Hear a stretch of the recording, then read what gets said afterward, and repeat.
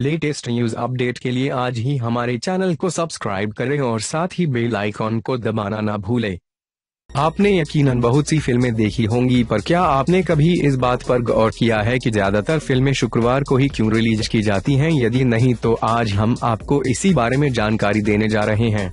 आपको जानकर हैरानी होगी कि यह चलन बॉलीवुड में आज से नहीं, बल्कि 1960 से चला आ रहा है। बहुत से लोगों का यह भी कहना है कि इस तरीके को बॉलीवुड ने हॉलीवुड से ही चुराया है।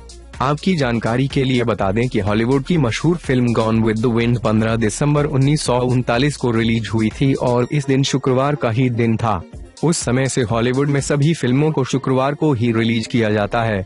इस तरह से हॉलीवुड कई दशकों से अपनी फ़िल्मों को शुक्रवार को ही रिलीज़ करता आ रहा है, लेकिन बॉलीवुड में यह चलन काफ़ी समय बाद आया।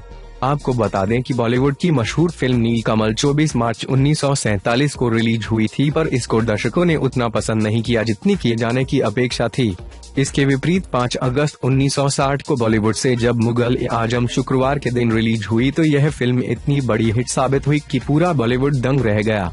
तभी से ही बॉलीवुड में सभी फ़िल्मों को शुक्रवार को ही रिलीज़ करना शुरू कर दिया गया।